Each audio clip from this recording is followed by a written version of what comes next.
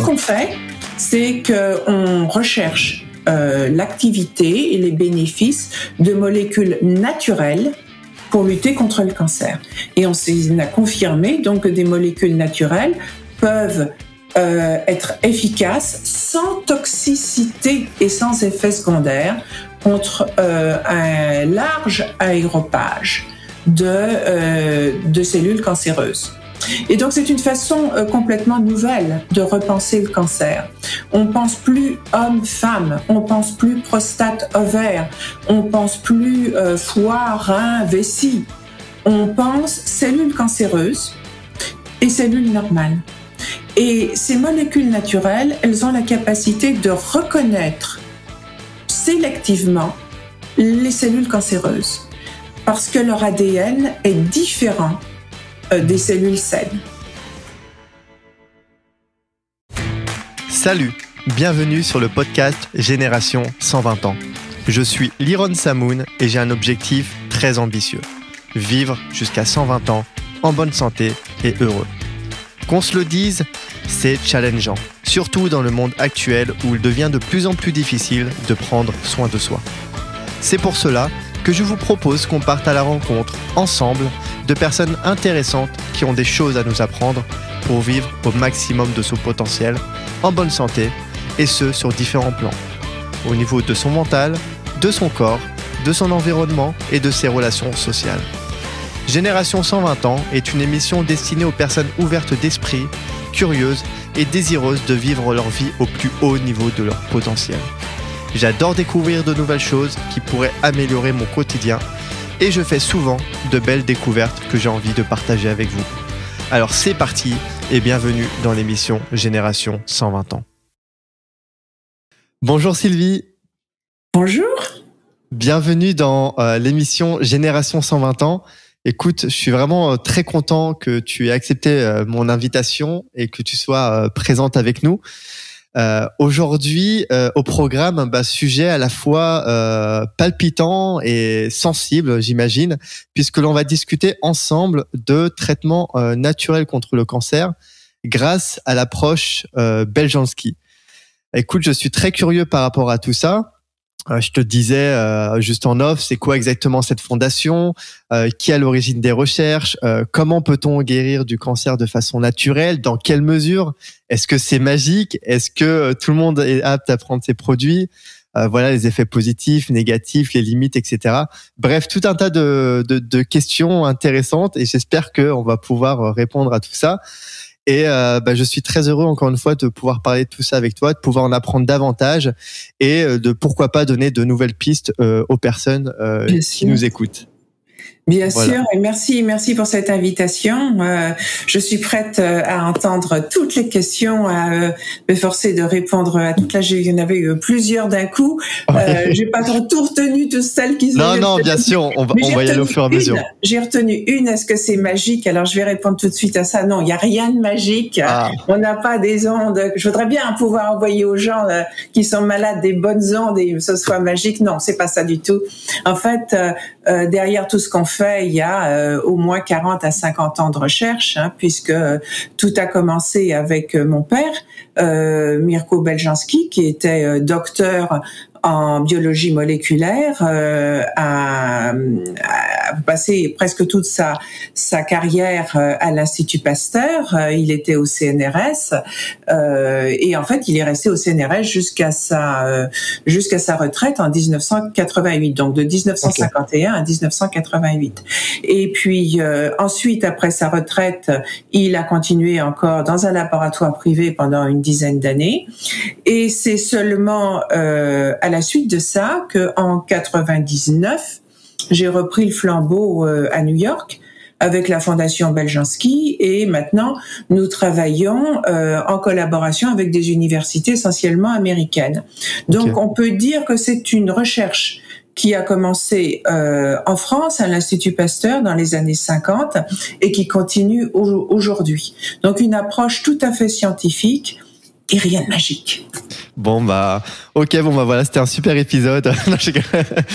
Écoute euh, ok très bien ça, ça, ça donne déjà un petit peu de matière pour pour commencer. Est-ce que juste avant de rentrer vraiment dans le vif du sujet tu peux te présenter euh, euh, Sylvie et dire un peu qui tu es et, et bah, là, à New York. Mais... Donc, euh, je suis euh, Sylvie Beljanski. Je suis la fille de euh, Monique et Mirko Beljanski. Je suis avocate de formation. Je suis française et américaine. Et je vis à New York depuis 1994. Je dirige et j'ai créé Maison Beljanski et euh, j'ai aussi créé en 99 la fondation Beljanski pour continuer la recherche. Voilà. Ok. Ok, et du coup là maintenant tu tu tu restes à, à New York et ben, tu, ça fait donc depuis les années 90 je suis euh, à New York, euh, j'ai 65 ans donc je vais pas me lancer dans une nouvelle carrière euh, maintenant et oui je vais je vais essayer de mener à bien le projet euh, que j'ai commencé le plus longtemps possible. Je ne sais pas si je vivrai jusqu'à 120 ans. D'ailleurs, j'en ai pas trop envie. Euh, j'ai pas trop envie de vivre jusqu'à 120 ans. Par contre, euh, je pense qu'on peut vivre euh, pendant longtemps euh, une vie intéressante, productive. Ma maman a 91 ans, elle continue à venir euh, tous les jours, euh, elle répond au téléphone et ce qui la tient, continue à la tenir en vie, c'est c'est vraiment de, de se sentir utile. Mmh. de, de, pouvoir continuer à voir fleurir euh, un, projet aussi dans lequel elle a donné toute sa vie puisque euh, elle a elle a, elle a, elle a épousé mon père en 1951 et donc euh, elle a travaillé avec lui à, à l'institut Pasteur elle travaillait comme sa collaboratrice à, à, l'Institut Pasteur. Et donc, elle a vu grandir toute cette recherche. Le fait de voir que ça continue à fleurir, que ça continue à aider des gens à être bien, en fait, c'est ça qui la tient, qui la hmm. tient en vie. Ouais, c'est ça, c'est un sens finalement. Euh, elle, elle, a un, un, fort sens euh, dans sa vie qui, dans, dans sa vie et euh, même si le corps doucement n'est plus ce qu'il était hein, à 80 ans, elle continue, euh, elle continue à être heureuse de vivre. Ok. Petite parenthèse, pourquoi tu veux pas vivre jusqu'à 120 ans si c'est en bonne santé euh, et... oh, Je suis fatiguée. Ah. ok. J'ai eu l'impression d'avoir euh, beaucoup beaucoup donné, euh, beaucoup donné. Euh, oui, non, je suis fatiguée. Ok. J'ai une vie intense. J'ai une vie intense entre diriger diriger l'entreprise, mener à bien la fondation, les projets de continuer les projets de recherche, continuer à représenter la fondation. Je suis l'image l'image de la fondation. Enfin aux États-Unis, il y a le directeur, notre directeur de recherche, Dr. John Hall, mais euh, pour tout ce qui est en France, euh, c'est moi qui parle de la recherche, etc. C'est lourd. Euh, là, au mois de au mois de septembre, j'ai je continue à faire des, des tournées. Euh, en France, à avoir être invité sur des salons, à donner des conférences. Ouais, il faut euh, il faut prendre l'avion. Ah oui, c'est beaucoup d'énergie, ouais. Il faut cela, euh, ça, faut traîner sa valise. Et je, je ferai je ferai ça le plus longtemps possible parce que j'adore ce que je fais, ça me rend très heureuse. Mais je pense pas que je le ferai jusqu'à 120 ans. Ouais, ok, c'est c'est clair. Euh, bah peut-être tu peux nous, nous, parler de, de cette fondation euh, Beljanski un peu. C'est quoi la, la, mission de cette fondation? Qu'est-ce que c'est? Est-ce que tu peux euh, m'en dire un peu plus? Oui, avec grand plaisir et, merci pour cette question parce que la fondation c'est vraiment ce, qui me tient à cœur. Donc en 1999, euh, quand quand tout ce que mon, enfin, mon père est décédé en 98 euh, dans des circonstances dramatiques, hein, puisque euh, puisque son laboratoire a été mis à sac par le, le GIGN, l'armée française. On a euh, on a porté l'affaire devant la Cour européenne des droits de l'homme, etc. C'était toute tout, tout, toute une affaire. Et donc, mais quand moi j'étais avocate de formation et et pas du tout scientifique hein, au départ, mais quand j'étais tellement choquée de voir comment, en fait, les barbares, hein, je les appelle les barbares parce que euh, il n'y avait pas de connaissance, il n'y avait pas de compréhension euh, du, phénomène scientifique, ont simplement débranché euh, les, les, congélateurs dans lesquels il y avait des banques d'ADN qui permettaient de savoir euh, euh, si une molécule était cancérogène ou pas. Euh, quand ils ont euh, voulu détruire toutes 50 ans de recherche, hein, là je me suis dit c'est pas possible. C'est pas possible. Ce, ce, savoir appartient à l'humanité. Il doit être préservé. Et, euh, et là, j'ai décidé de, créer une fondation aux États-Unis pour préserver le savoir et aussi pour avoir des confirmations scientifiques, parce que le phénomène scientifique doit être confirmé. Et une mhm. des choses qu'on reprochait à mon père, c'est on lui disait euh, oui, mais enfin bon, ce que vous faites, c'est la poudre de perlimpinpin euh, parce que euh, euh, parce que ça perce aucun laboratoire scientifique n'a confirmé ça. en fait, bon, comme il travaillait sans moyens sans moyens financiers, il était tout seul dans, dans son coin euh, il avait une minuscule petite équipe, euh, c'était très difficile de faire confirmer. Mais euh, avec tous les ennuis qu'il a eu, euh, vous pensez bien que d'autres laboratoires avaient euh, testé en espérant euh, pouvoir le démolir, et comme ils l'ont pas démoli scientifiquement, c'est qu'ils n'avaient pas, ils avaient pas réussi à démontrer que c'était faux n'est-ce pas? Donc non, il n'y a, jamais eu de, euh, de, de, démonstration scientifique publiée disant que mon père avait eu tort. Et euh, la mission de la fondation euh, depuis euh, depuis 99 a été d'avoir avec des grandes universités américaines comme Columbia University ou Kansas euh, University Medical Center confirmer les travaux de mon père, confirmer qu'il avait raison euh, scientifiquement, confirmer l'activité euh, des extraits qu'il a mis au point et encore aller au-delà avec des méthodes modernes qui, qui n'existaient pas à l'époque de mon père. Mmh. Donc depuis 99, je peux dire qu'on a eu une vingtaine de programmes scientifiques qui ont tous abouti à des publications dans des revues un comité de lecture et euh, toutes ces publications sont disponibles sur le site de la fondation. Alors il y a deux sites, beljanski.org en anglais, beljanski.info euh, en français. Et la fondation met à disposition de tous tout ce travail scientifique, les 133 publications de mon père, euh, et toutes euh, de façon présentée le plus de façon la plus thématique possible toutes les publications euh, engrangées maintenant euh, avec les partenariats établis par la Fondation Belchanski. Ok. Alors, ce qu'on fait, c'est qu'on recherche euh, l'activité et les bénéfices de molécules naturelles pour lutter contre le cancer. Et on, on a confirmé donc que des molécules naturelles peuvent euh, être efficaces sans toxicité et sans effet secondaire contre euh, un large aéropage de, euh, de cellules cancéreuses. Et donc c'est une façon euh, complètement nouvelle de repenser le cancer. On pense plus homme-femme, on pense plus prostate-ovaire, on pense plus euh, foie, rein, vessie. On pense cellules cancéreuses et cellules normales. Et ces molécules naturelles, elles ont la capacité de reconnaître sélectivement les cellules cancéreuses parce que leur ADN est différent euh, des cellules saines. Et c'est quelque chose donc que mon père avait, avait observé ces dernières, la dernière publication montrait que l'extrait de Pao Pereira, qui d'ailleurs est une plante qui vient de l'Amazone, c'est parfaitement euh, naturel. C'est un, c'est un arbre qui, dont l'écorce se régénère très très vite, très facilement. Donc en fait, c'est, c'est, c'est, c'est du développement durable.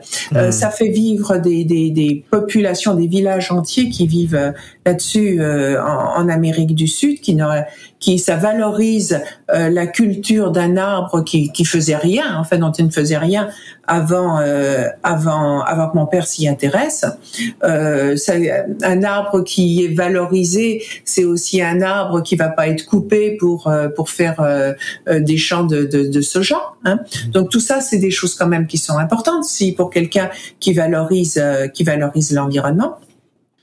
Et cette écorce, eh bien, mon père avait, avait montré que c'était efficace sur 16 lignées cancéreuses qu'il avait testées à l'époque. Et donc maintenant, on a continué cette recherche et on a montré que ça marchait sur les cellules précancéreuses, sur les multiples cellules cancéreuses. On a fait la prostate, l'ovaire, euh, le, le pancréas, que ça marche en synergie aussi avec différentes chimiothérapies ce qui est quand même aussi très important. Les, gens n'ont pas besoin de choisir entre euh, un traitement euh, traditionnel donné à l'hôpital et ajouter ça. Ils peuvent prendre les deux euh, en synergie. Et puis, ça marche sur des cellules cancéreuses très avancées, métastasées. on a fait une, une, étude sur le cancer de la prostate métastasée qui ne répond plus au traitement hormonal. Donc là, on dit aux gens pratiquement, rentrez chez vous, il y a, y, a, y a plus rien à faire. Et puis, euh, on a vu aussi que ça marchait euh, sur les cellules souches du cancer. Alors, les cellules souches du cancer, c'est quelque chose de très important parce que euh, les, les chimiothérapies diverses qui sont sur le marché n'agissent pas sur les cellules souches du cancer. Les cellules souches du cancer, ce sont des cellules, disons, précurseuses Hein. Elles sont pas encore différenciées. Elles, elles sont un devenir de euh, cellules de foie ou de cellules de, de, poumons, etc. Elles sont encore indifférenciées, mais elles peuvent déjà devenir cancéreuses. Hmm. Et donc, comme les, les quand, vous avez euh, un cancer, une chimiothérapie, et que l'oncologue le, vous dit la tumeur a diminué, vous êtes tout content, mais en fait, il a détruit les cellules les moins agressives et les cellules souches, elles ont euh, elles continuent à vivre et elles ont la capacité de rester dans le sang, de se promener dans le sang et d'aller refaire ailleurs une autre euh, une autre tumeur. C'est ce qu'on appelle la métastase. Et tant qu'on n'a pas résolu le problème euh, des cellules souches, on n'a pas résolu le problème vraiment du cancer. On dit aux gens, vous êtes en rémission et on croise les doigts pour qu'il n'y ait pas de métastase. Mais en fait, euh, il y a souvent, malheureusement, des métastases. Et ce qu'on a vu, c'est que euh, les extraits de Pao Pereira et les extraits de Rovolfia vomitoria, ils sont efficaces contre les cellules souches du cancer. Alors on était tellement éblouis, on avait commencé la première étude, c'était euh, sur euh, la cellule souche des ovaires, on était tellement éblouis que euh, on a recommencé pour vérifier sur le cancer du pancréas et on a de très très beaux résultats in vitro et in vivo sur animaux. Hein, c'est très important aussi de dire euh, sur animaux parce que euh, il y a beaucoup de choses des fois qui marchent euh, en tube à essai, mais qu'on n'arrive pas à reproduire dans la vie, ou bien alors qui sont tellement toxiques que ça tue les cellules cancéreuses, mais ça tue aussi le patient. Là, c'est pas le cas. On a de très très beaux résultats. Ok. Donc euh, voilà, là, on, a, on est bien rentré dans le vif du sujet. Donc en, gros, euh, c'est euh, pour récapituler un petit peu, c'est donc ton père a fait a fait de recherches, a trouvé du coup ces fameuses plantes, on en reparlera un peu plus en détail tout à l'heure, qui se révèlent efficaces contre les cellules souches du cancer. Contre différents types de cancers. Contre différents types de cancers. Et différents stades de cancer précancéreux, cancéreux, cancer avancé, cellules souches du cancer. À chaque fois, on a de très très beaux résultats. Maintenant, tout ça est prouvé scientifiquement. Euh, tout ça, toutes ces, c'est des publications issues par de grandes universités et tout est disponible sur le site de beljanski.info. J'ai une petite question pour revenir un peu euh, euh, durant la vie de, de ton père. Tu m'avais dit qu'il travaillait à l'Institut Pasteur. C'est quand même un grand institut. Il, il, il, faisait pas des publications avec eux ou ou il faisait des recherches justement déjà sur ces plantes-là avec eux. Comment comment ça ça a commencé en fait? Il s'est dit, comment, ça, comment ça a commencé Bien, euh, donc mon père était euh, à l'Institut Pasteur dans les années 50, 60, et il faut savoir qu'à l'époque, c'était euh, un peu les années 60, c'est la découverte du génome, hein, c'est Watson and Crick, enfin les années 50. Donc dans les années 60, tous les scientifiques s'intéressent s'intéressent à ça, et mon la grande approche officielle euh, de l'époque, c'est que le cancer ne peut résulter que de mutations scientifiques, euh, de mutations au niveau du génome. Et euh, mon père il a une différente approche différente. Il compare les cellules cancéreuses, les cellules normales, et il dit l'ADN des cellules cancéreuses est déstabilisé par rapport à l'ADN de la cellule saine. Une, cette déstabilisation, c'est en fait, ce qu'il a appelé déstabilisation, c'est l'ouverture des deux brins d'ADN. Les, oui, les, lisses, là, qui se... Les lisses, euh, au lieu d'être que tout soit joliment euh, lié comme ça, euh, il y, a, y, a, des grandes ouvertures, des grandes boucles. Et parce que les liaisons hydrogènes qui sont supposées tenir, retenir entre les, les deux brins d'ADN ont cassé.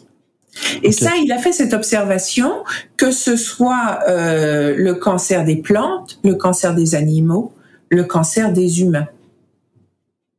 Ok, donc il a observé ça. De là, à partir de là, il s'est dit, ben, comme le, une, euh, quand, quand les boucles, il y a des grandes boucles, l'ADN aussi se multiplie beaucoup plus vite parce que euh, toutes les sites de duplication sont, sont, sont ouverts et disponibles. Alors, euh, il avait donc fait le lien entre cancer et augmentation du rythme de synthèse de l'ADN. Et donc, il s'est dit, à partir de là, je vais tester certaines molécules pour voir si elles augmentent le rythme de synthèse de l'ADN, parce que ça voudra dire qu'elles sont cancérogènes. Et puis à partir de là, il s'est dit, si la nature a créé des cancérogènes, elle a dû aussi créer des anticancérogènes. Et il a cherché des molécules qui inhibent sélectivement la synthèse de l'ADN cancer. Et il a, qui était capable d'en sélectionner un certain nombre euh, et c'est comme ça qu'il est arrivé à ces plantes, le Pao pereira qui est en Amazon, dans qui grandit dans l'Amazon, et puis le Revolfia vomitoria euh, qui vient d'Afrique. Et euh, dans toutes les plantes qu'il a sélectionnées, c'était disons les deux plus efficaces. Mais comment, euh, comment il, a, il, est tombé sur ces plantes-là? C'est-à-dire, c'est en faisant des. Bah après, c'est peut-être vraiment très, très technique, mais il avait déjà. Euh, il s'est dit, voilà, ça fonctionne comme ça. Donc, euh, je connais ces plantes-là qui. En, fait, il y, a, une petite histoire aussi. Ah il y avait le fameux laboratoire Servier, hein, celui du Mediator, devenu maintenant célèbre avec le Mediator. Ah Donc, dans les années, dans les années 80, il n'y avait pas encore le scandale du Mediator. Mais il y avait un autre scandale. Euh, le, le, laboratoire Servier avait développé un autre produit qui s'appelait le Sarpajan, euh, qui euh, était un extrait de Revolfia vomitoria, qui était donné pour abaisser la pression sanguine des gens. Et il y avait eu des soupçons que cet extrait de Revolfia vomitoria pouvait induire euh, des cancers du sein. Donc mon père s'est intéressé à, à cette euh, parce qu'on en parlait beaucoup. Hein, c'était c'était le, le, le scandale Servier de l'époque. Euh, donc mon père s'est intéressé à cet extrait. il s'est rendu compte que le, le Revolfia vomitoria, il y avait en fait deux molécules très importantes dedans. Une qui s'appelle la réserpine, qui est toxique et cancérogène, et l'autre qui s'appelle l'alstonine, qui est moins en plus faible quantité, mais en quantité quand même significative dans, la plante, et qui a des propriétés euh, entièrement bénéfiques et anticancérogènes. Et donc, il s'est dit, si je purifie l'extrait et que je retire tout ce qui est réserpine, je ne vais plus avoir que du tout bon. Ah, du tout bon, ouais, ok. Et mais c'est euh, c'est un gros gros travail de, de purifier euh, l'extrait de, de Revolfia vomitoria, il y a beaucoup de pertes. Hein, puisqu'on retire euh, l'alcaloïde principal. Et donc il s'est dit, est-ce que je pourrais trouver une molécule qui, au moins sur le papier, ressemble à l'alstonine, sans mmh. avoir à faire toute une purification? Et c'est comme ça qu'il est tombé sur la flavopérérine, qui est l'alcaloïde principal de, euh, du Pao Pereira. Alors hmm. ensuite, la question suivante, c'était où est-ce qu'on trouve du Pao Pereira Et c'est comme ça qu'il est arrivé dans l'Amazone. Ok, donc finalement c'est un concours de circonstances quoi, par rapport à la. Une chose qui mène après l'autre. Ok, ok. Et, euh, et, donc il a découvert ça comme ça. Et Et, et, justement, quand il a découvert ça, il n'y a, a, pas eu la, justement, il n'y a pas eu, euh, enfin, il travaille toujours avec l'Institut Pasteur de, de. Alors, oui, oui, oui, Là, quand on travaille avec l'Institut Pasteur, en fait, les les les euh, les, les brevets éventuels qu'on prend euh, appartiennent euh, à euh, l'ANVAR, qui est la société de brevets euh, qui dépend de l'Institut Pasteur.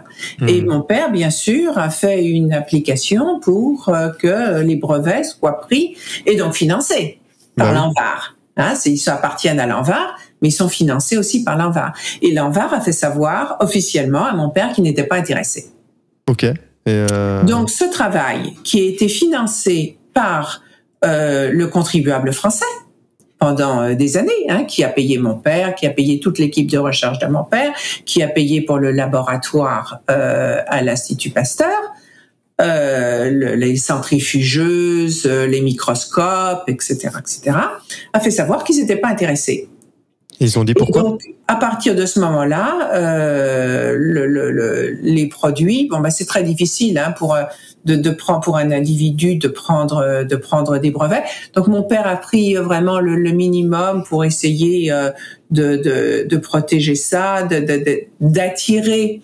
Son, son, son, but c'était d'attirer des euh, des sociétés qui puissent à partir de là développer et mettre ces molécules euh, anti-cancer euh, à, à, grande échelle à, des, à disposition euh, de, de, des, des gens. Mais euh, l'Institut Pasteur euh, a absolument fait, euh, a contacté un certain nombre d'industriels français en leur mettant euh, marché en main. Si vous travaillez avec Beljanski, vous, vous, on ne travaillera plus avec vous. Ah oui, d'accord. Mais euh, pourtant, ça aurait été, pu être une révolution à l'époque, justement, si, euh, si les... Et, et, et, et, les gens en place veulent pas d'une révolution. Bah, si, bah, si ça peut, après, si j'imagine, si ça peut mettre en place de, c'est peut-être naïf comme question, mais justement, on découvre des nouvelles molécules, donc on va, on va pouvoir euh, bah, créer de, peut-être de nouveaux médicaments et c'est, bingo pour eux, non? Ou alors c'est peut-être bah, trop... Non, ils ont, ils ont pas vu ils comme ça. Ils ont pas vu comme ça. Ils ont vu euh, que euh, ça allait remettre en cause euh, les produits qu'ils vendaient, les profits qu'ils faisaient, et ils ont préféré tout étouffer, étouffer la recherche et détruire mon père. Ah donc c'est à cause de ça que le labo a été a été détruit. Euh, c'est comme ça que ça ça a commencé. Donc okay. les, les les produits, ils étaient faits euh, en, en, toute petite quantité. Il n'y avait pas de la véritable laboratoire euh, pharmaceutique euh, qui les développait. Donc, euh, ils ont été euh, mis à l'époque, enfin, c'était en, en, complément alimentaire mmh. hein, sur le sur le marché. Et puis, ce qui s'est passé, on arrive là aux années début des années 90. Il y a l'affaire Mitterrand. L'affaire Mitterrand. Alors. Ah, j'étais pas né en 90, je suis né en 92. Ah Il était pas né, c'est gentil. bon, alors, euh, euh donc, euh, je, je, je, reviens un petit peu en arrière. Donc, dans les années euh, 80, donc mon père, mais il, il, développe comme il peut ses produits euh, que, dont l'Institut Pasteur ne veut pas en, en petite quantité. Euh, il publie tous ses résultats. Il y a un certain nombre de, de, médecins qui entendent parler de ces publications, etc., qui sont intéressés par l'idée de molécules naturelles pas toxiques qui vont marcher sur tous les types de cancers. Et euh, un certain nombre de, de médecins commencent à recommander ces produits avec de bons résultats. Et puis, dans les années 90, euh, François Mitterrand, qui était à l'époque euh, président de la République. Oui, ça, oui, ça, ça je savais. Oui, il a entendu parler. Euh, dans les années 90, euh, Mitterrand euh, est, était malade. Ah, il a été diagnostiqué avec un cancer de la prostate. Alors, il avait gardé ça secret pendant son premier mandat qui était de 7 ans. Hein, les mandats étaient de 7 ans à l'époque. Ouais, et puis, début du deuxième mandat, il est tellement mal après la réélection, ça devient quand même officiel que euh, le président euh, est malade et qu'il a un cancer de la prostate. Et là, il est tellement euh, malade, le, il a tellement attendu parce qu'il a voulu garder ça secret pendant le premier mandat que le cancer est devenu généralisé et le médecin officiel de, de la de la de la de l'Élysée lui dit écoutez c'est généralisé il y a rien à faire on peut vous donner de la morphine etc et Mitterrand avait euh, une maîtresse, Madame Pinjon, euh, qui avait un médecin de famille, qui avait de très bons résultats avec sur le cancer de la prostate en utilisant les produits Beljanski. Hmm. Et c'est comme ça que euh, il y a un médecin qui arrive à l'Élysée et qui euh, met Mitterrand sous les produits euh, Beljanski. Alors gros rififi évidemment à l'Élysée entre ceux qui sont pour, ceux qui sont contre, ceux qui étaient très contents que en fait Mitterrand soit sous morphine et que euh, il puisse soit pas en mesure véritablement de, de, de, vérifier ce qui se passait. Il y en avait déjà qui étaient prêts à organiser des, des élections anticipées. Hein, mhm. n'est-ce pas? Et puis contre toute attente, Mitterrand va de mieux en mieux. Et comme on le, comme on le sait, il a été capable de finir son deuxième mandat et de quitter euh, l'Élysée. Donc euh, sept ans plus tard, euh, il n'était pas en chaise roulante, euh, il était à pied, la rose à la main. Il a fait exactement tout ce qu'il a pu, tout ce qu'il a voulu faire jusqu'au bout.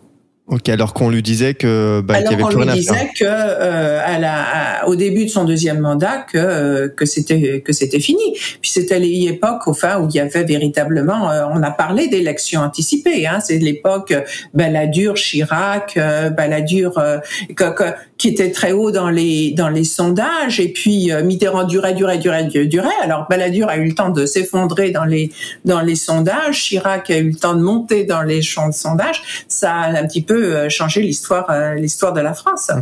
Et et en attendant il y avait donc des gens qui étaient furieux au ministère de la santé euh, que ça en fasse ainsi de la publicité pour des produits euh, naturels. Ça montrait vraiment au monde que euh, des produits naturels pouvaient faire mieux que ce, que le médecin officiel avait, avait prescrit.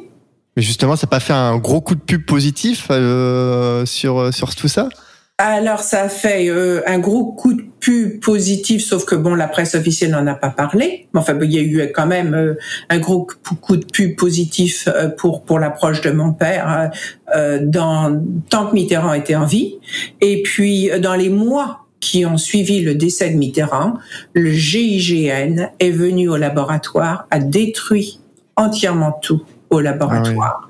Ah euh, ils ont euh, arrêté mon père, ma mère. Euh, ils ont et ils ont dit à mon père au lieu de le déférer devant le juge, le juge d'instruction tout de suite, ils ont dit à mon père il y a plus de train parce que le laboratoire était du côté de, de Lyon.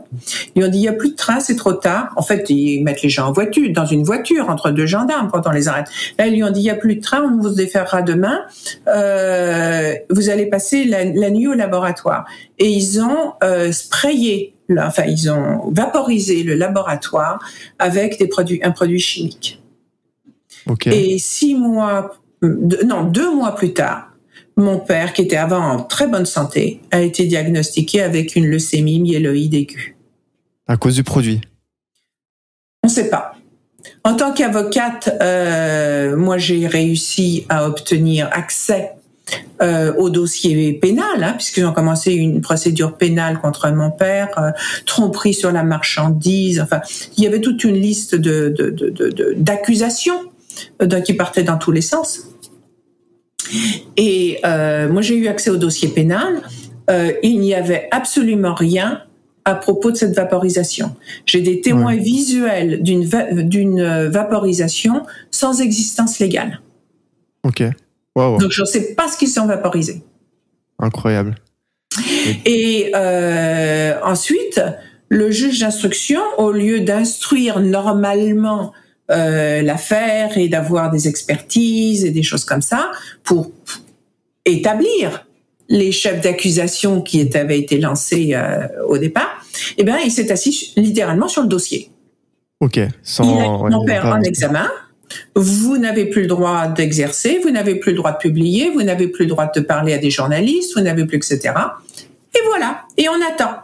Oh, le choc, oh, le pauvre. Alors, je pense qu'il savait, je pense hein, euh, qu'il savait que euh, mon père, on lui avait vaporisé quelque chose et qu'il allait être très malade et qu'ils attendaient que mon père décède.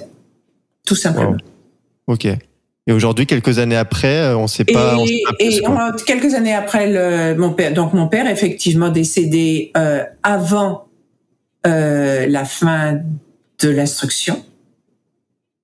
Donc, il n'a jamais été jugé, il n'a jamais été condamné. Incroyable. Ouais. Hein? Euh, techniquement, on, tant qu'on n'est pas condamné, on est présumé innocent. Ouais, c'est vrai. Et, euh, et tout ce que j'ai pu faire, c'est de porter l'affaire devant la Cour européenne des droits de l'homme, euh, parce que c'est pas normal de laisser traîner un dossier pendant deux ans, en sachant que euh, le prévenu est malade, et sans lui donner la chance de, de, de, se défendre. Et en plus, ils pouvaient même pas utiliser ces produits vu que j'imagine tout était. Ils avaient tout détruit. Ouais. Oh, le choc, ouais, ça, ça devait être un choc autant pour toi que pour euh, ta maman. Et... Ça, a été, euh, ça a été horrible et euh, pour moi, c'était, c'est cette horreur qui a été euh, le déclenchement. Si mon père, euh, mon père était euh, décédé de sa belle mort, disons de quelques années plus tard, voilà. oui, bon, il a une, un infarctus ou Dieu sait quoi. On va tous mourir de quelque chose, hein. même si on vit jusqu'à 120 ans, on va éventuellement tous tous mourir de quelque chose. donc, si mon père était décédé de façon normale je me serais jamais, jamais lancée dans cette dans cette affaire. J'étais pas, moi, je, encore une fois, j'étais juriste, pas scientifique, euh, mais c'est, euh, j'étais tellement scandalisée, scandalisée par euh, par ce que la France a fait que je me suis dit c'est pas possible, on peut pas, on peut pas, on peut pas laisser hmm. ça euh, détruire. Et puis devant la Cour européenne des droits de l'homme, ils ont été nuls mais ils ont été archi nuls. Euh, ils étaient quand même devant la Cour européenne des droits de l'homme. Le ministère de la Santé devait expliquer le comment et le pourquoi. Pourquoi est-ce qu'ils avaient laissé durer cette procédure pendant deux ans sans l'instruire normalement? Ils n'avaient aucune, aucune justification. En fait, gagner devant la Cour euh, européenne des droits de l'homme, c'était un jeu d'enfant sur le plan juridique. Ils hmm. n'avaient rien comme, euh, comme, euh, comme élément juridique pour s'expliquer. Et on a gagné à l'unanimité. Ok. Ouais, donc vraiment, c'était euh, c'était du côté de la France, il n'y avait pas d'effort. Euh, il, enfin, il faisait... ça, a été de l'abus de pouvoir et une violation de l'article 6 de la Déclaration européenne des droits de l'homme. Ok. Ouais, je comprends maintenant. Du coup, ça, ça a été vraiment le, le, le moteur de, en tout cas le, le, le pourquoi de que tu t'es enfin où tu t'es lancé là dans cette fondation et pour pouvoir justement valoriser le travail et peut-être reprendre le flambeau voilà. Que, que ça disparaisse pas que, que, que, ces sauvages euh, euh mal embouchés euh, criminels hein, puisque euh, vaporiser quelque chose comme ça qui n'a pas d'existence légale et puis euh, la personne tombe malade deux mois plus tard que, que, leur pas, pas leur laisser le dernier mot si mon père ne pouvait pas, si on pouvait pas le sauver, au moins sauver son travail. Et puis, mais les choses ensuite ont, évolué euh, au fur et à mesure que je me suis investie dans cette recherche et que j'en pu en apprécier euh, la, la, la, beauté, euh, l'élégance euh, de ces molécules qui sont pas toxiques, qui n'ont pas d'effets secondaires, qui vont marcher sur tous ces cancers. Là, euh, je me suis dit, c'est magnifique. J'ai une telle fierté chaque hmm. fois que je peux en parler, chaque fois que je peux donner une conférence. c'est ça qui est devenu le, le, moteur. Maintenant, je vais pas rester 20 ans dans dans, dans l'amertume et, et, et, dans la colère. Oui. Euh, ok, d'accord. Ouais, donc tu as, repris le, flambeau. Bravo déjà. Et je suis assez, non, je suis, assez touché par cette histoire parce que c'est juste incroyable. Et c'est fou que, que, ouais, que, que, ça soit passé de, de cette façon-là. Euh, mais aujourd'hui, euh, du coup, je, tu es, enfin, tu n'es plus embêté? Enfin, je veux dire, maintenant que tu as repris le flambeau, tu es. Ah, moi, tu prends, moi je, je, je n'ai jamais été embêtée, comme, comme tu dis, mais moi, je suis, je suis à New York. Euh, donc euh, je suis complètement euh, coupée de, du, du, champ d'activité de, de l'État français. toutes les tous les, les extraits mis au point par mon père euh, la première chose que j'ai faite, évidemment en tant que juriste, c'est de faire les notifications euh, adéquates auprès de la FDA euh, pour que la FDA, c'est l'équivalent du ministère de, de la santé, aux États-Unis, hein, Food and Drug Administration. Donc j'ai fait tout un dossier puisque mon père avait fait toutes les études de toxicité, etc., etc. J'ai tout repris. Euh, j'ai fait des notifications, des dossiers de notification dès 1997 euh, auprès de la FDA américaine. Et donc maintenant, ça fait plus de 20 ans que les extraits sont euh, en tant que complément euh, alimentaire euh, aux États-Unis en toute légalité. Et la fondation fait de la recherche, enfin finance des universités pour faire des programmes de recherche. Et tout ça est fait en toute légalité. Et, et non, je, je, touche du bois, mais nous n'avons pas jamais eu de problème depuis depuis maintenant 25 ans. Ok, les, les, industries, vous dites rien, les industries pharmaceutiques ou quoi que ce soit euh, Non, non, non, il euh, n'y a pas, y a pas eu, y a jamais eu de problème. En fait, ce qui montre bien que c'était euh, véritablement politique. Oui.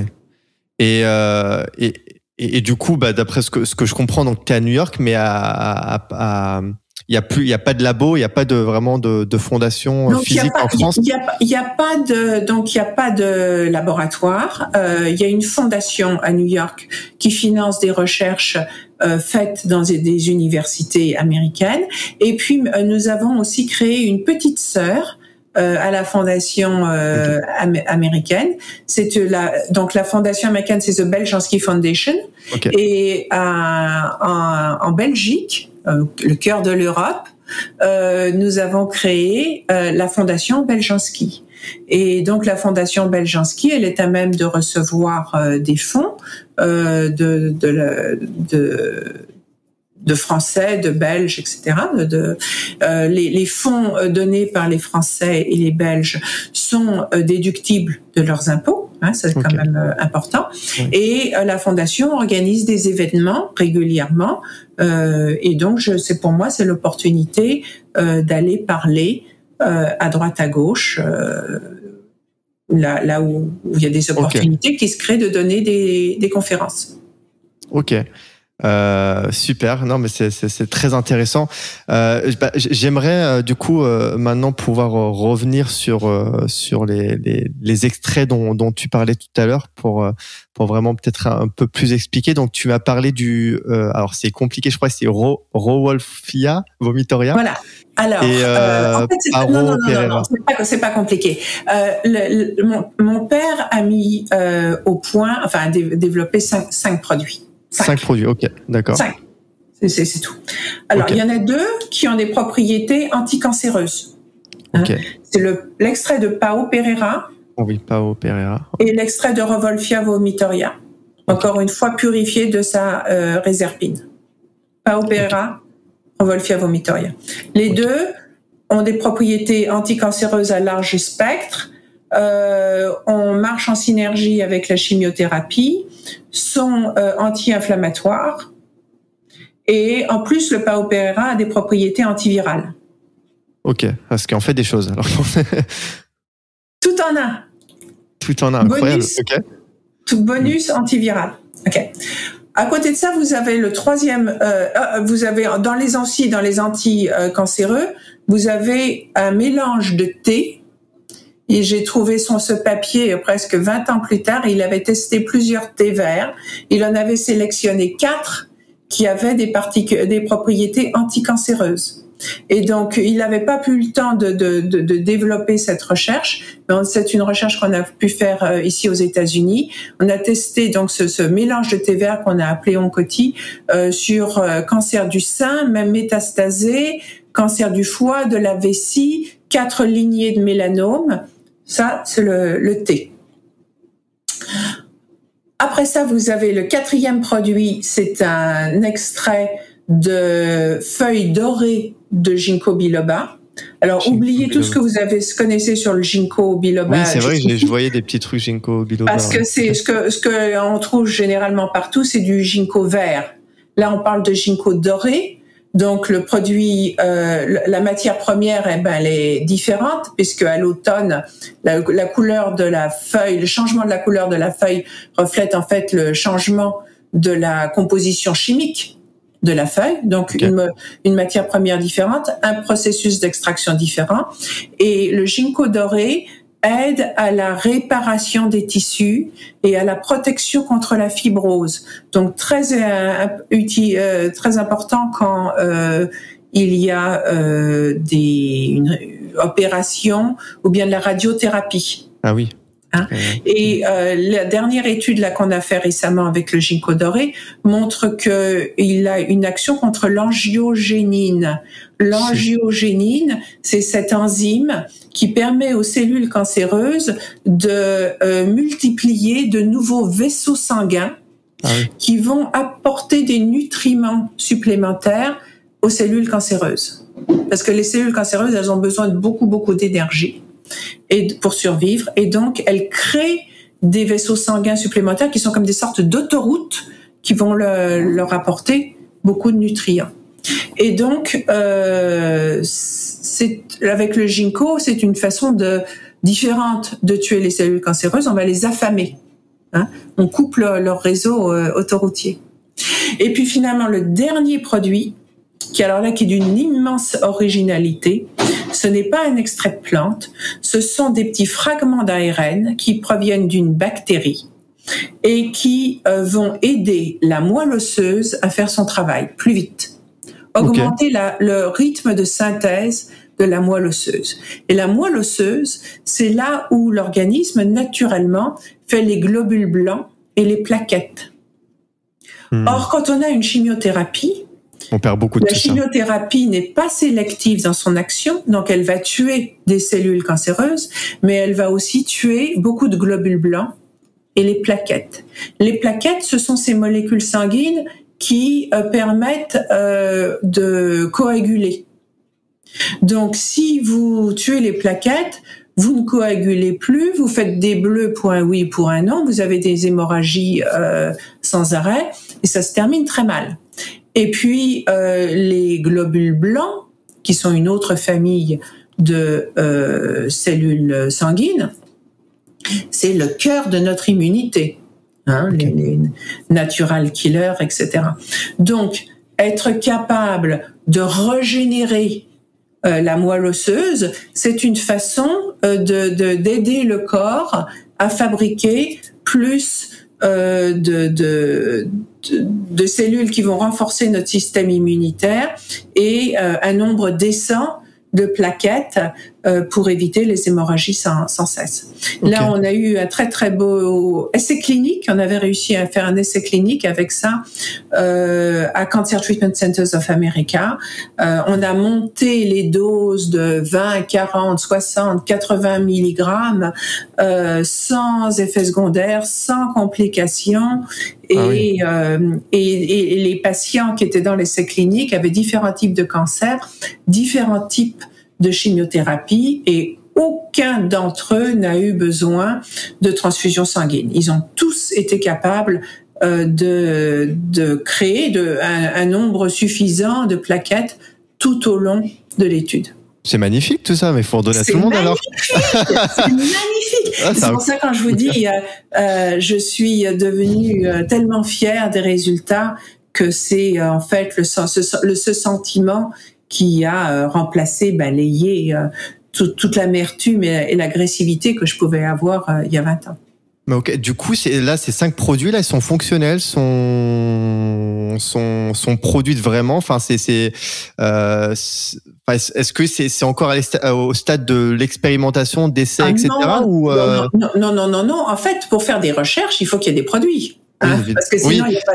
Et ce que je veux dire, c'est que ça peut être, ça, ça, ça, peut être euh, vraiment euh, dans un cadre très précis. Et... Non, non, non, non. Comme j'ai dit, hein, depuis 97, tout a été notifié à la FDA, donc tout est disponible en tant que complément alimentaire. C'est euh, mis euh, sur le marché par euh, Maison Beljanski. Hein, donc vous allez sur maisonbeljanski.com, il y a le site en français, le site en anglais, liens, oui. et euh, tous les produits bon, peuvent être euh, peuvent être euh, sont, sont, sont disponibles, peuvent être commandés euh, commandés en ligne. S'il y a des questions, euh, on peut il y, y, a, un formulaire pour poser les questions. mon équipe, elle est bilingue, totalement bilingue. Hein, c'est New York, c'est la, ouais. la, francophonie. Ouais. Donc en fait, j'ai des à New York, on trouve des gens du Mali, euh, de, de, Côte d'Ivoire, etc., qui, qui parlent français, euh, de, de, de, de, Haïti, etc., qui parlent français. Donc j'ai une équipe totalement bilingue et, euh, et qui est capable de répondre, de répondre en français à tous les gens qui, qui nous écrivent, qui nous contactent. Et puis il y a ma maman aussi qui continue, à répondre, au télé- okay. qui continue à répondre au téléphone tous les matins. Ok, euh, super. Bah, juste avant de, de parler de ces, ces petits traitements, j'avais d'autres questions par rapport à ça. Mais on tout le monde peut en acheter. Même euh, moi, là, je peux aller sur le site et en acheter et recevoir en France. Absolument. Ok. Ok, super.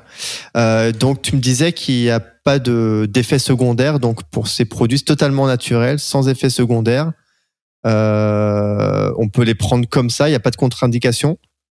Alors il y a quelques, enfin il y a quelques contre-indications hein, euh, qui sont plutôt, euh, qui sont plutôt le fait qu'ils vont perdre leur activité. Hein, si j'ai associé par exemple des antidépressants comme la benzodiazépine, elle va, ça va inhiber le bénéfice des petits fragments d'ARN. Euh, la, la silice, le charbon-marie, etc., vont complètement inhiber euh, le bénéfice du, du PAO Pereira. Euh, des hormones, euh, des, un traitement hormonal, ça va euh, complètement euh, balayer le bénéfice hormonorégulateur du Revolfia vomitoria. Okay. Ce sont des produits efficaces, mais quand même naturels et doux. Donc, face à des molécules chimiques puissantes, ils vont ils, ils, vont être complètement inhibés. Combien de temps ça, ça, prend effet? Enfin, Comment ça se passe un traitement euh, avec ça? Enfin, Est-ce que ça agit tout de suite? Est-ce que c'est sur du long terme, du moyen terme? bah, un, un, traitement de cancer, c'est pas c'est pas dans les huit jours. Hein. Euh, surtout que euh, dans, dans moi je dis euh, l'approche anti-Beljanski, c'est pas juste prendre euh, quelques petites pilules. Hein. C'est ça que je te disais tout à l'heure, l'approche magique, parce que quand tu dis ça, on a l'impression que c'est vraiment c'est, c'est, ça a l'air de, de, de, résoudre énormément de problèmes et euh... alors ça, ça, ça, ça, résout effectivement beaucoup de problèmes euh, au niveau cellulaire mais je pense que la maladie c'est beaucoup plus qu'un dérèglement cellulaire, euh, en particulier la maladie du cancer. Et euh, il y a beaucoup de choses qui doivent être prises en compte. Euh, d'abord, qu'est-ce qui a déclenché ce cancer? Pourquoi on est malade? Qu'est-ce que la, quel est le sens de, de la maladie? Euh, Qu'est-ce que le corps vous dit euh, quand il, il, tombe malade? Il proteste contre quoi?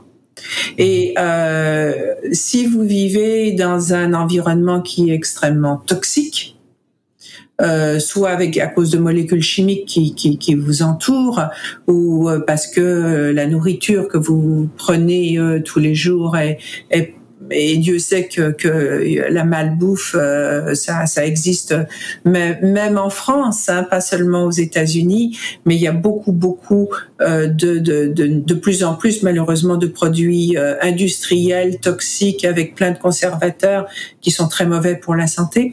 Si vous avez des émotions toxiques, si vous êtes dans des relations toxiques, si vous êtes, euh, etc. Tout, tout ça, euh, c'est des choses qui, euh, vous, vous, allez voir peut-être une amélioration au niveau cellulaire, mais les petites gélules, elles, elles, vont, elles vont vous donner une petite amélioration, mais vous n'allez pas pouvoir guérir si vous n'adressez pas le véritable, les mmh. véritables causes véritable du problème.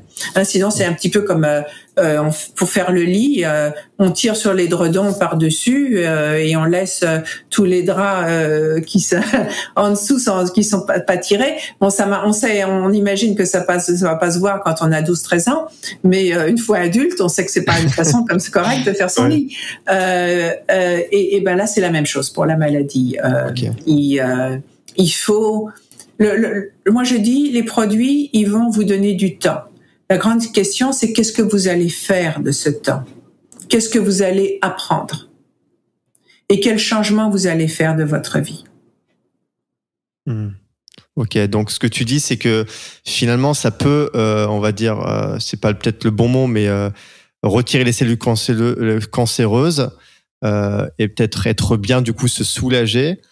Mais euh, si on traite pas la cause, bah ça va finir par revenir.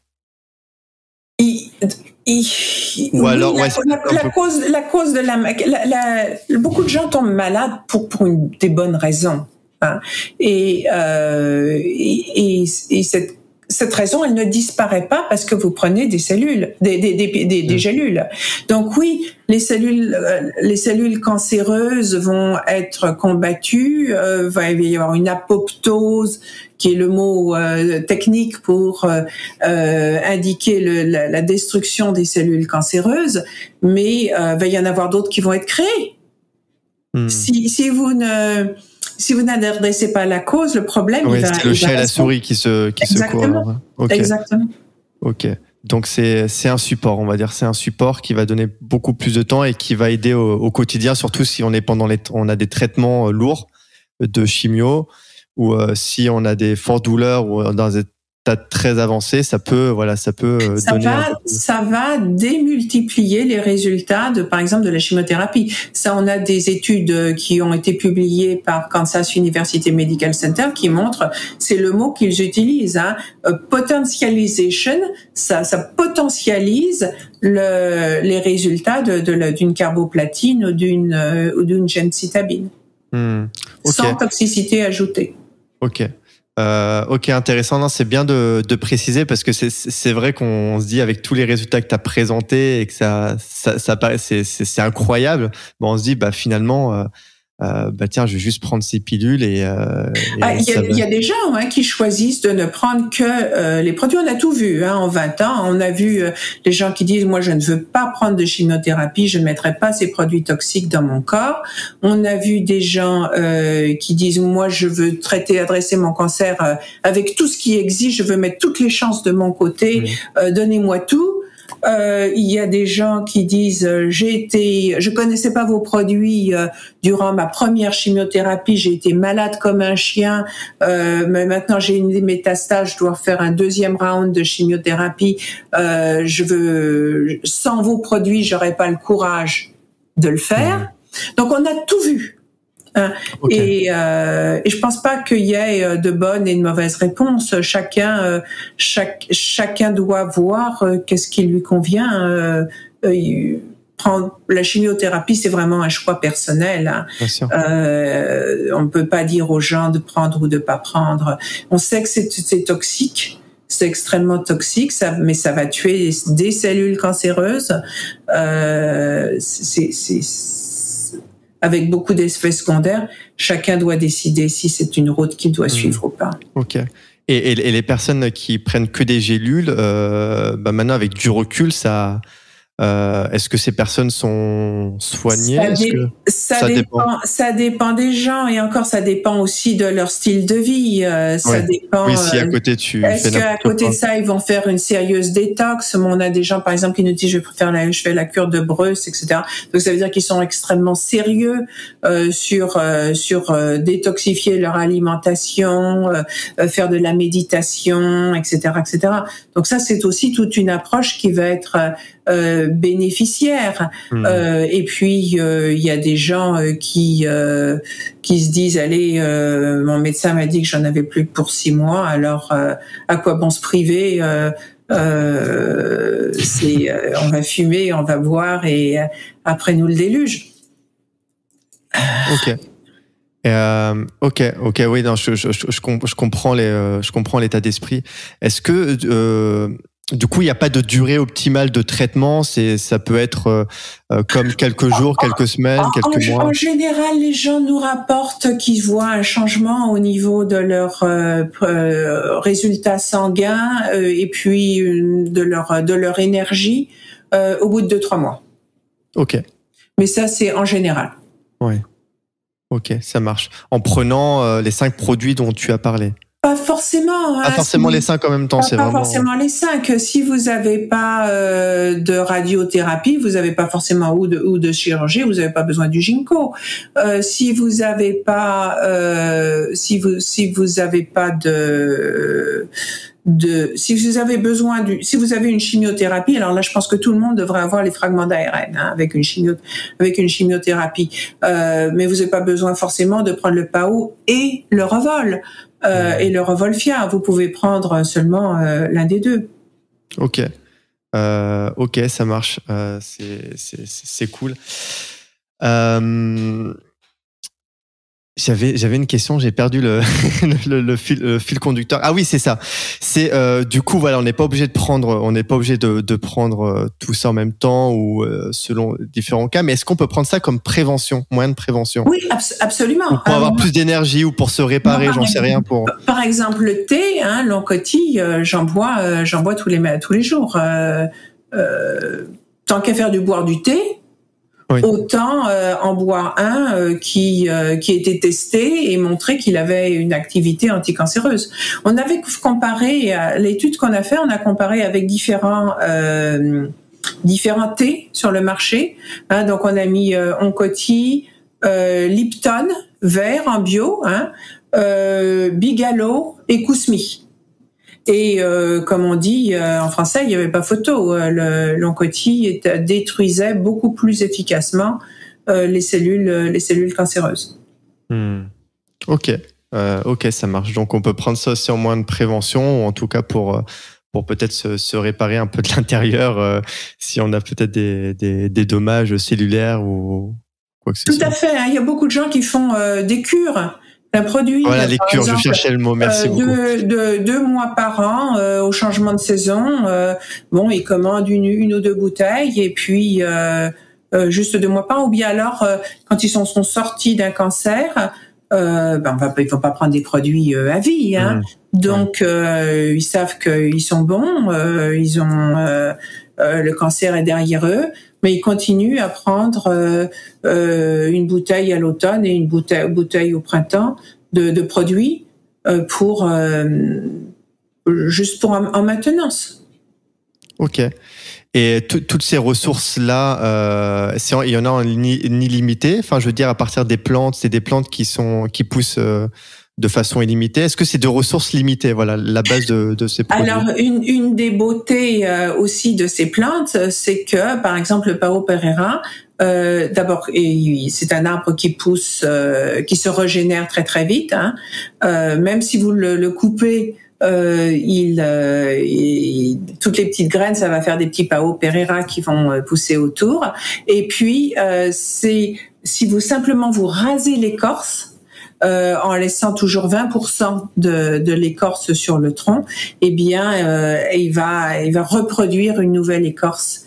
Euh, année après année. Donc en fait, c'est vraiment, on est vraiment dans le développement euh, durable. C'est beau la nature. Hein. c'est magnifique la nature. Génial. C'est magnifique la nature. c'est ah bah écoute super super fascinant Sylvie. Franchement ça ça ça, donne de l'espoir en tout cas.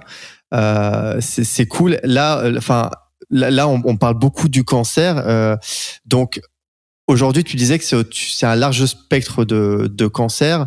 Euh, une première question qui me vient est-ce qu'il y a, y a, des cancers où pour le moment il n'y a pas de voilà, ça fonctionne pas très bien? Et est-ce qu'il y a d'autres pathologies hors le cancer, hormis le cancer où ces produits peuvent fonctionner? Oui, alors les, les cancers euh, où, où, on a du mal à faire euh, à faire fonctionner, euh, c'est par exemple le cancer des os parce que c'est on a plus de mal pour faire pénétrer le produit hein, dans les os. Donc là, il vaut mieux qu'il y ait une scintigraphie osseuse avant. Ça va rendre l'os un peu plus friable et ensuite les les les, les os vont mieux vont pouvoir mieux, enfin, être pénétré par les produits. Le, la question c'était. Euh... Est-ce qu'il y a d'autres pathologies euh, hormis hors le cancer où, ça peut fonctionner Alors, euh, du temps de mon père, il y avait eu euh, aussi un essai clinique euh, sur. À l'époque, c'était le HIV. Hein, euh, il n'y avait pas de, il n'y avait pas encore la trithérapie. Hein.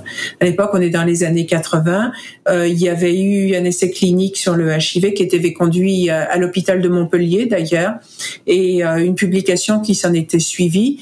La population euh, considérée avait HIV positive avait été suivie pendant 12 mois et ils avaient observé euh, qu'il y avait une amélioration de leur système immunitaire au lieu d'une dégradation. Ah sur les 12 mois. Donc très très beau résultat. Euh, qui d'ailleurs n'a pas intéressé non plus le gouvernement français euh, à l'époque. Euh, non. et récemment, bon, bah, depuis les deux dernières années, évidemment, il y a eu beaucoup de gens qui ont, ont, pris du Pao Pereira parce qu'ils avaient peur du Covid ou bien ils avaient eu la, la Covid. Donc on a, là, on n'a pas d'études hein, pour euh, je dis tout de suite, on n'a on pas fait d'études sur, sur, sur la Covid. Par contre, on a reçu un certain nombre de témoignages nous disant que euh, l'action antivirale du, du PAO Pereira marchait très très bien et qu'en mmh. en quelques jours, ils avaient une très nette amélioration. Ok, intéressant. Moi, j'ai pris préventivement euh, pendant euh, du, du Pao Pereira presque de façon continue parce que j'ai pas arrêté de travailler euh, et je voulais je pouvais pas me permettre d'être malade et, et je n'ai pas eu euh, je n'ai pas eu le Covid. Mmh. Ok, ah, c'est bah c'est c'est enfin c'est excitant tout ça parce que ça donne vraiment des, des perspectives intéressantes et puis euh, bah ça, ça, permet si en plus il n'y a pas de potentiellement d'effets secondaires ou quoi que ce soit, ça permet de potentiellement tester sur sur plein de choses en fait. Et, euh, et j'imagine aujourd'hui, tu, enfin, tu vas me, tu vas me le dire, c'est, euh, c'est le but de la fondation, c'est voir jusqu'où on peut aller avec ces produits-là. Tout à fait. Tout à fait. Euh, de... de, de, toujours repousser euh, les limites. Et euh, là, en ce moment, on fait euh, donc une recherche sur le mélanome. Okay. Je me suis dit, donc on a eu des beaux résultats sur le mélanome avec le ginkgo et avec le thé les deux. Et je me suis dit, euh, pourquoi ne pas mélanger les deux? Par exemple de façon topicale, hein, puisque le mélanome c'est euh, cancer de la peau, c'est le cancer de la peau le plus le plus agressif en fait. Et euh, une, une, crème c'est toujours de l'eau dans l'huile ou de l'huile dans l'eau, selon mmh. le selon l'onctuosité hein, du, du produit. Et je me suis dit plutôt que de mettre de l'eau, pourquoi pas mettre du thé? Ouais. Et donc euh, là, on est en train de lancer une, une lignée euh, de, de, soins pour la peau euh, qui contient à la fois, qui contient ce mélange de, de thé et, et de ginkgo doré. Ok. Voilà. Donc ça, c'est en, en, Ça s'appelle Belgian Skin. On a déjà deux produits euh, disponibles euh, une lotion pour le corps et puis un, une crème pour les mains et les pieds. Euh, et puis, on est en train de développer le, le, reste de la crème. Ok, donc là vous avez un, un programme dessus. Vous avez d'autres programmes? Est-ce que vous avez des... et donc, et donc euh, on a fait donc la recherche sur le ginkgo, on a fait la recherche sur euh, le thé séparément, et là ce qu'on est en train de faire, c'est euh, lancer un programme pour tester le mélange sur vraiment là des greffons de peau, pas des... sur des cellules, des ah. greffons. Ah, des greffons de peau. Ok, d'accord. Ok. Euh, pas, pas, pas sur des cellules de mélanome, hein, mais maintenant sur des greffons de peau. Ah oui, ok. Fascinant, palpitant. Et, palpitant. et donc tout ça, vous êtes une, une équipe donc euh, avec beaucoup des universités euh, américaines, tu disais? Est-ce qu'il y a d'autres aussi on, travaille, on travaille avec des universités américaines, mais l'histoire du greffon de peau, là, ça va être fait en France. Ah, donc il y, a de l'avancement. il y a de l'avancement. Il y a de l'avancement. Oui, oui, tout à fait. Vous, vous avez d'autres partenaires dans, dans le monde ou là pour le moment c'est enfin la Belgique du coup euh, depuis euh, Oui, oui. Euh, dans, dans le passé, on a travaillé aussi avec l'université de Liège aussi. Okay. Euh, on a non, on essaie autant que possible de de de, de s'allier avec le plus de, de, de, laboratoires universitaires possibles. Je pense que plus il y a de gens qui sont au courant de cette recherche, plus il y aura de publications venant de différents de différentes voies, et plus sur le plan scientifique, ce sera solide et, et établi.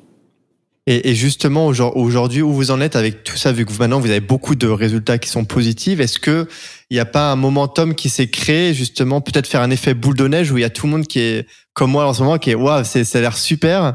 Donc euh, venez, on s'active tous sur ça et on. Oui, il, y a, 20 ans, il y a 20 ans, on n'aurait jamais trouvé une université française, un laboratoire français qui accepterait de travailler avec euh, un produit Beljanski. Je pense que euh, le fait que maintenant on y arrive, ça montre justement le momentum, ça montre que les, les choses ont changé, ça montre quand même que le travail qu'on a fait euh, depuis les 20 dernières années euh, impressionne favorablement les scientifiques euh, qui se disent il y a quand même là quelque chose d'intéressant. Ok, ok, ça marche. Est-ce que tu prévois d'avoir des canaux de distribution en France, par exemple? Parce que là, du coup, on les importe directement des États-Unis. Est-ce que c'est prévu pour vous qu'on puisse acheter ça dans le commerce du coin? Enfin, Oui, alors peut-être pas, peut-être pas les produits Beljanski parce que juridiquement, leur statut n'a pas changé. Ah oui, ah, c'est ok. Euh, par contre, euh, les produits, euh, les produits pour la peau, oui. et puis on est aussi en train de développer un certain nombre de compléments alimentaires justement pour détoxifier l'organisme, pour et pour régénérer l'organisme. et cela, on espère bien pouvoir les rendre les rendre disponibles euh, à travers des réseaux de distribution en France. Euh, j'ai mis au point il y a quelques années, moi j'ai eu un problème de d'empoisonnement aux métaux lourds. On a découvert que j'étais extrêmement fatiguée. On a découvert que c'était un empoisonnement à l'arsenic euh, qui est extrêmement courant. Hein. L'arsenic ah on trouve dans, dans l'eau, malheureusement maintenant. Et comme c'est l'eau, euh, eh ben l'eau ça empoisonne euh, les, les, légumes, ça ça empoisonne, ça c'est le tout. Hein, ouais, ouais, c'est c'est vrai Et donc quand on est sensible euh, à, à certains métaux lourds, que, comme moi pour l'arsenic, ben ça, ça, ça on l'accumule dans le corps. Euh, on commence par être très très fatigué et puis ces métaux lourds ça peut induire des cancers.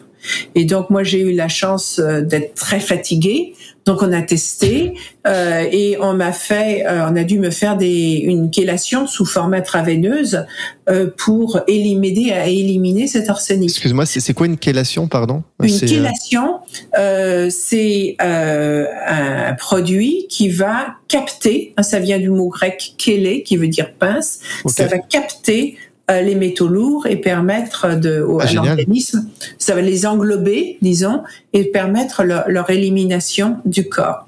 Je me suis dit, euh, c'est galère en intraveineuse. Je me suis retrouvée euh, dans une salle, hebdomadairement, dans une salle avec à droite et à gauche de moi des gens qui étaient sous chimiothérapie. qui me regardait avec envie parce que oh, elle a des cheveux. euh, c'est sinistre comme expérience. Et donc euh, je me suis dit euh, non, il faut trouver une solution de chélation orale. Et j'ai développé un produit qui s'appelle Signature Chilate. et qui est capable de capter, qu'on prend oralement, et qui est capable de capter et d'aider à éliminer les métaux lourds. Ah, génial. Donc ça, ce produit, euh, on, compte bien le mettre sur le marché euh, euh, en Europe et le rendre disponible pour la grande distribution. Ce serait pour quand ça? Pour pour l'année prochaine. Ok. Ouais, parce que c'était justement un, petit sujet que vous voulez aborder, justement la détox aux, métaux lourds, parce que j'imagine on est tous bah, au quotidien en contact avec des métaux lourds et euh, et, donc, euh, enfin, je voulais savoir dans quelle mesure on peut, savoir si on est impacté par les métaux lourds. Et de deux, est-ce qu'il y a un protocole qu'on peut suivre, qu'on le soit ou pas euh, impacté par les métaux lourds, justement pour en tout cas détoxifier un maximum et pour peut-être reprendre une certaine vitalité, quoi. Oui, oui, mais justement, on a régulièrement nous des, les tous les mois, enfin, on a un événement virtuel qui s'appelle les Jeudis de la santé et euh, à chaque fois, j'invite un intervenant. Et il n'y a pas très longtemps, j'avais euh, invité euh, Monsieur Sananès, qui est un naturopathe, qui utilise euh, l'oligoscan ou oligocheck, ça, enfin, ça, ça, ça c'est connu sous ces deux noms, et euh, qui c'est un petit petit appareil euh, qui euh, permet euh, de, de, de, savoir très très vite si vous avez des déficiences ou des excès de certains euh, nutriments, vitamines, ou si vous avez des métaux lourds. Et donc, euh, il me disait qu'il avait eu euh, un, patient qui avait testé sur très, très, qu'il était très élevé en métaux lourds, très très empoisonné. Il avait pris euh, le signature qu'il. Trois mois après, euh, il était revenu et son taux de métaux lourds avait euh, diminué de façon extrêmement considérable. Donc, ça me, Monsieur Sananès était très heureux de nous dire en direct qu'il avait testé le signature qu'il et qu'il avait vu, pu mesurer des beaux résultats. Génial. Ok, bah j'ai j'ai hâte de voir ça parce que c'est vrai que c'est un sujet aussi euh, euh, pour le podcast. J'aimerais trouver un, justement euh, une personne avec qui de discuter de tout ça parce que j'ai l'impression que c'est quand même quelque chose on n'entend pas forcément parler autour de, de soi de cette intoxication aux métaux lourds. Et ah que je, je, je, vous, je vous enverrai ses coordonnées parce que c'est il avait fait nous enfin une, une présentation très intéressante dans le cadre de nos, nos jeudis de la santé.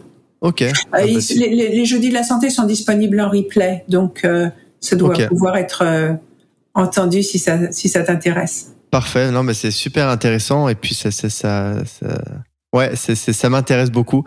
Euh, écoute, super Sylvie, je pense qu'on a fait un, un, un bon petit tour. Euh, ouais, juste par rapport à la distribution, le thé aussi, ce sera dans la euh, en, le, le, le, thé absolument. Donc euh, il y a cette société qu'on a appelée Natural Source Europe. Euh, le, qui est disponible en ligne. Là, c'est juste pour les professionnels de la distribution et euh, qui peuvent euh, qui peuvent acheter les produits en gros et les mettre dans leur magasin, par exemple. Ok. Euh, écoute, bah parfait, euh, Sylvie, on a fait un bon petit tour. Est-ce que par hasard il y a des choses dont j'ai pas abordé que tu aurais aimé aborder ou des choses que tu tu aimerais rajouter euh, Oui, alors pour ceux qui veulent en savoir plus sur euh, sur l'histoire euh, de la fondation, sur la recherche, sur mon père, sur l'histoire Mitterrand, etc., etc. J'ai tout raconté dans mon livre. Ah oui qui est ici. Hein? voilà, gagner, la, lutte. la lutte contre le cancer, la découverte dont la République n'a pas voulu. C'est disponible aux, aux éditions du Souffle d'Or. À la fin du livre, il y a quelques pages qui sont dédiées au protocole du docteur euh, Markovitch. Le docteur Markovitch était un ami médecin euh, de mon père. Donc, euh, quelles recommandations il faisait, faisait de quels produits, pourquoi hein? Euh, moi, je suis pas médecin, je n'aime pas donner des protocoles, mais euh, je fais passer le, les protocoles du docteur Markovitch. Euh, le, le, livre se lit très facilement et se lit. Euh, c'est, ouais, ça, se, ça se voit, il se lit, on me dit comme un roman. Euh, j'ai voulu que ce soit. Euh, c'est mon histoire personnelle, hein, donc euh, comment comment j'ai découvert ce que faisait l'État français et comment tout est reparti en France. Mais il y a beaucoup de documentation, beaucoup de références. Donc c'est une très très bonne une très très bonne introduction disons, à cette euh, recherche, tout en étant facile à lire.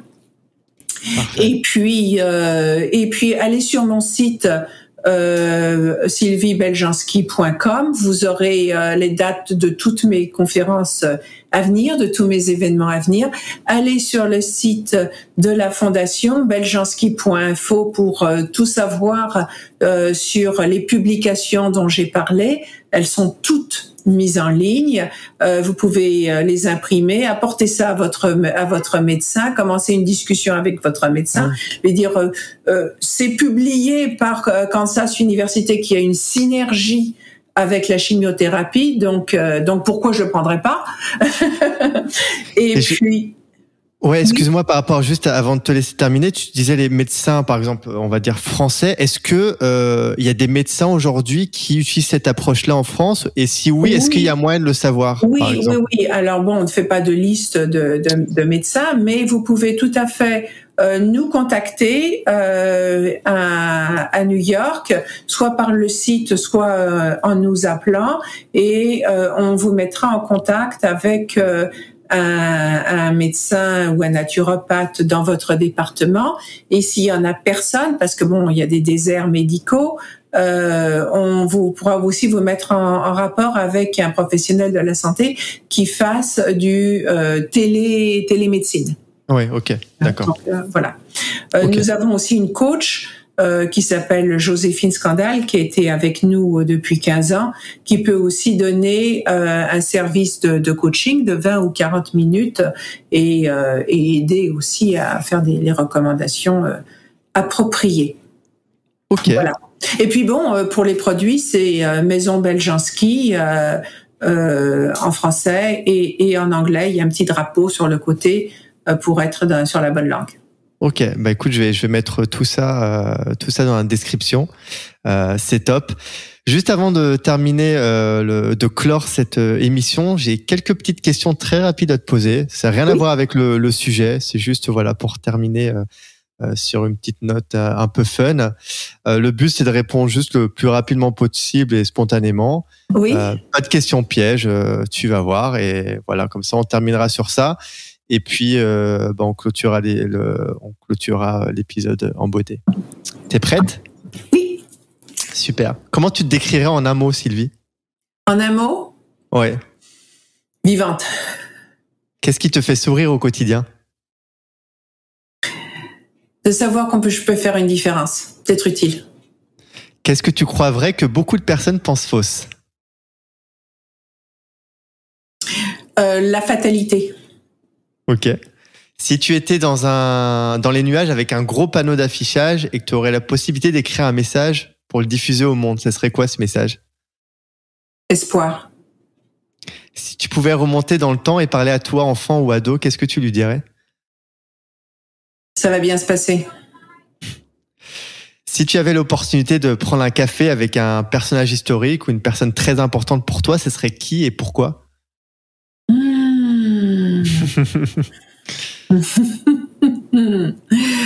Euh... Napoléon. Euh, j'aimerais, euh, j'aimerais lui dire, avec toute cette puissance créatrice, parce que quand même, je veux dire, tout on lui doit le code civil, le code pénal, les, les codes de procédure, etc. Pourquoi mettre tout ça dans, dans la guerre? Hmm. Question ouverte. ok. Euh, un livre, hormis euh, celui que tu nous as présenté, à, à, recommander? Oh, il y a beaucoup de livres. Euh, il y a beaucoup de livres sur euh, sur le cancer. Il y en a eu plusieurs qui ont été, qui sont disponibles, très bons livres qui sont disponibles euh, sur le site de la Fondation Beljanski. On a un petit magasin de livres okay. choisis, sélectionnés, qui de plusieurs auteurs et qui se complètent assez bien. Ok, ça marche. Bon, je, mettrai aussi ça comme lien. Parfait. Merci beaucoup, Sylvie euh, Beljanski. C'était euh, un épisode très passionnant, qui euh, fascinant aussi. C'était très intéressant et puis euh, bah, qui apporte finalement beaucoup d'espoir. En tout cas, j'espère que euh, ça va apporter beaucoup aux personnes qui euh, qui bah, qui vont auront écouté jusqu'au bout et que ça puisse euh, voilà déboucher sur sur pas mal de choses positives. Euh, donc, euh, merci beaucoup, Sylvie. Merci beaucoup. Merci pour cette belle opportunité de partager euh, cette information, effectivement, avec le plus de gens possible. C'était, c'était vraiment super. Et puis, pour toutes les personnes qui écoutent, n'hésitez pas à partager autour de vous, à, voilà, à envoyer cet épisode aux personnes qui en auraient peut-être besoin. Et puis, euh, bah, surtout, voilà, à, être des diffuseurs de positifs pour justement euh, donner de nouvelles pistes euh, aux, de, de, de, de, nouvelles découvertes autour de, de vous à, à partager. Euh, voilà, donc. Absolument. Merci. Maintenant que vous êtes informé, vous avez le devoir de passer cette information. Exactement, c'est ça. Vous n'avez plus le choix. vous êtes obligé de partager. Euh, merci beaucoup Sylvie et puis je te dis à bientôt et très bonne continuation avec euh, avec la fondation. Merci, merci. Bonne continuation à toi aussi. Merci. Super, merci beaucoup d'avoir écouté cet épisode de Génération 120 ans jusqu'au bout. J'espère que cet épisode vous a plu. Si c'est le cas, comme c'est un tout nouveau podcast, j'ai deux choses à vous demander. La première, c'est de me laisser une note 5 étoiles avec un commentaire positif sur Apple Podcast ou d'autres plateformes, car ça m'aide beaucoup et surtout ça permettra à d'autres tout comme vous de profiter de ces discussions enrichissantes. Ensuite, si vous avez des commentaires, des retours à me faire, n'hésitez surtout pas. Ceci me permettra de progresser et vous proposer quelque chose de toujours plus qualitatif. Merci encore pour votre attention précieuse et je vous dis à très vite pour un épisode de Génération 120 ans.